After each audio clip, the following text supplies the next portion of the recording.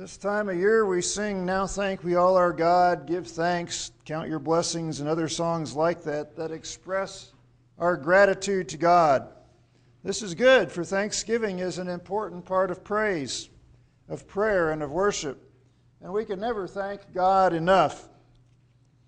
I'd like to read a little list from each of our readings, uh, scripture readings for tonight that suggests what we can be thankful for. And you could add to that list, you can make your own list maybe, and then some scriptures that also illustrate uh, that thankful thing we're thankful for. We may never wander in the desert like the Israelites were doing in Deuteronomy. We may never be a missionary in a foreign land like Paul was to the Philippians.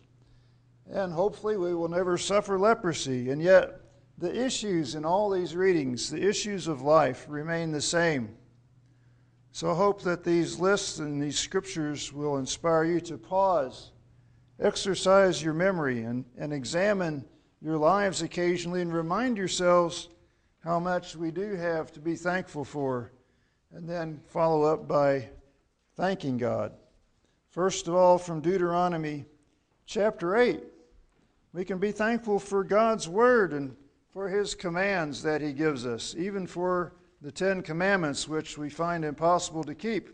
Paul reminds us that the law is holy, the commandment is holy, righteous, and good. We can give thanks for life.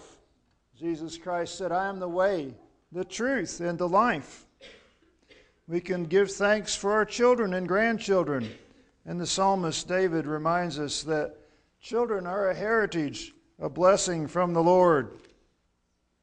We can rem- be thankful for land and for possessions. We have so many of those to be thankful for in, in, our country and the time in which we live. Paul reminded Timothy also it's not anything to be ashamed of to have things. Paul said, Command those who are rich in this present world not to be arrogant, nor to put their hope in wealth, which is so uncertain, but to put their hope in God, who richly provides us with everything for our enjoyment. It is His, but He gives it to us to use and to enjoy. We can give thanks for God's leading. In John chapter 10, Jesus said, I am the good shepherd. My sheep follow me because they know my voice. We can even give thanks for God's testing something that the Israelites weren't very good at. And it goes against human nature, but we can thank God for that too. In Hebrews chapter 12, the writer tells us endure hardship as discipline. God is treating you as children. For what son is not disciplined by his father? If you are not disciplined, and everyone undergoes discipline, then you are illegitimate and not true children. We can give thanks for clothing and shoes everyday things that we don't think about all the time, but some people don't have them. Jesus reminded us not to worry about these things in the Sermon on the Mount. Seek first the kingdom of God and his righteousness, and all these things will be given to you as well. We give thanks for bread and food. Jesus said, I am the bread of life. Whoever eats my flesh and drinks my blood has eternal life we give thanks for drink. Jesus met a woman at the well who was there to draw water. And he said, If you knew who it is who asks you for water, you would ask him, and he would give you living water. Jesus said, Everyone who drinks this water will be thirsty again, but whoever drinks the water I give will never thirst. Indeed, the water I give will become in him a spring of water welling up to eternal life. And then there's the natural resources that God promised the Israelites they would enjoy. We too in our land have many of these. And Jesus reminds us in the Sermon on the Mount, He causes His Son, that is God the Father, causes the sun to rise on the evil and the good, and sends rain on the righteous and the unrighteous. We have many, many blessings, and particularly physical blessings and blessings of the place in which we live. From Philippians chapter 4, we have the privilege of prayer. One day Jesus was praying in a certain place, and after he finished, one of his disciples asked him, Lord, teach us to pray, just as John taught his disciples. And the Lord did. He taught the Lord's Prayer, and he taught by example too, every day, oftentimes. He went out to deserted places, the Bible says, so that he could pray. We can be thankful for the peace of God. Jesus said, My peace I give you. I do not give as the world gives but I give you real peace. Things that are true, noble, right, pure, lovely, admirable, excellent, and praiseworthy. We can find all types of these things if we just look around. In fact, many of the things we enjoy, many of our hobbies, sometimes the music we listen to, the books that we read, all kinds of things fit this description. Paul tells Timothy in 1 Timothy 4 Everything God created is good, and nothing is to be rejected if it is received with thanksgiving, because it is consecrated by the Word of God and by prayer. Also in Philippians, Paul reminds them to be thankful for good examples.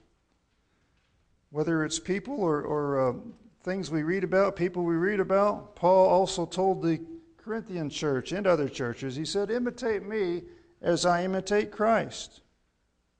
We can certainly be thankful for God's presence.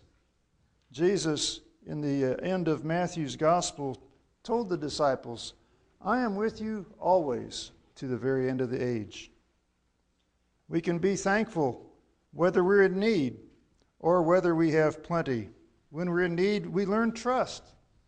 As Jesus reminded the people of Israel, man does not live by bread alone, but by every word which proceeds from the mouth of the Lord. We can also be thankful when we have contentment. Contentment is that being able to rest in God's presence wherever you are, whatever you have or don't have. 2 Peter 1, verse 3 says, God's divine power has given us everything we need for life and godliness through our knowledge of Him who called us by His own glory and goodness. He's given us all that we need. And we can be thankful for people who share in our troubles. That's one reason we have funerals. We gather together to support one another. Why we pray for one another when going undergoing tragedies, surgeries, or health problems, or whatever the case may be. And we can be thankful for people who give. Paul talks about giving in 2 Corinthians 8 and 9. And he mentions this this service of giving that you perform is not only supplying the needs of God's people, but is also overflowing in many expressions of thanks to God. And he also mentioned that God supplies both seed to the sower and bread for food. God will multiply gifts and make it so that we can give more and more. So, through Philippians chapter 4, we can find many things to be reminded of to be thankful for. And then in our gospel lesson, the healing of the ten lepers, we have freedom, including the freedom to travel around. We have all kinds of freedoms in our country, many more than people of most countries have. But even more than that, we have freedom in the Lord Jesus Christ. Jesus said, If the Son sets you free, you will be free indeed. We can be thankful for the health that we enjoy. And not only that, uh, if we don't have it all the time, that we often get healed. Jesus wants to heal us, He wants us to be whole, and it's a sign of the perfection of things to come when we receive health back again. A man with leprosy came and knelt before Jesus and said, Lord, if you're willing, you can make me clean. Jesus reached out in his hand and touched the man. I am willing, he said. Be clean. We can be thankful for worship. That's what the leper who was healed from the Samaritan was moved to do come back and worship and give thanks to the Lord Jesus.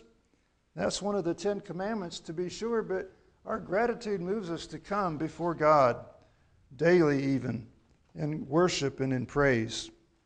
We can be thankful for salvation. The Bible assures us that everyone who calls on the name of the Lord will be saved, even as the Samaritan leper was. We can give thanks for a new start. Some years ago, there was a saying that was popular and it was on posters everywhere. Today is the first day of the rest of your lives, and it's true. But even more than that, we receive new hope every time we come to the Lord in prayer, every time we receive His word in our hearts, every time we have a new situation that the Lord leads us through. We have new hope in the Lord Jesus Christ. He told Ezekiel the prophet, or the people through Ezekiel, He said, I will give you a new heart and put a new spirit in you. I will remove from you your heart of stone and give you a heart of flesh. And I will put my spirit in you and move you to follow my decrees and be careful to keep my laws. And finally, we have hope. Hope is something that much of the world doesn't have either. But no matter what the circumstances, Christians always can have hope. In fact, if we lose sight of hope, we are to be most pitied among men because we've kind of lost sight of what life is about. It's about the Lord Jesus Christ who gives us hope. Paul reminded the Romans of this. He said, I consider our present sufferings are not worth comparing with the glory that will be revealed in us. The creation waits in eager expectation for the sons of God to be revealed. In this hope, the hope of the resurrection, the hope of our adoption as sons, we were saved. And so Paul reminds us of our heritage of hope through Jesus Christ and through the resurrection. David in Psalm 103 says, Bless the Lord, O my soul, and all that is within me, bless his holy name. Bless the Lord, O my soul and forget not all his benefits.